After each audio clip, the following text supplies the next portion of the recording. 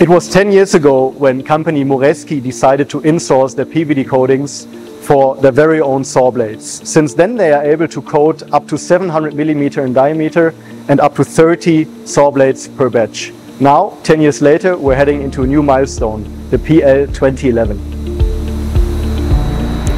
With the investment into the 2011 PVD coating system by Platit, company Moreschi is multiplying their production capacity from about 30 saw blades, maximum diameter 700, into 75 saw blades per batch. Moreschi is a family business, uh, manufacturing saw blade since uh, 35 years.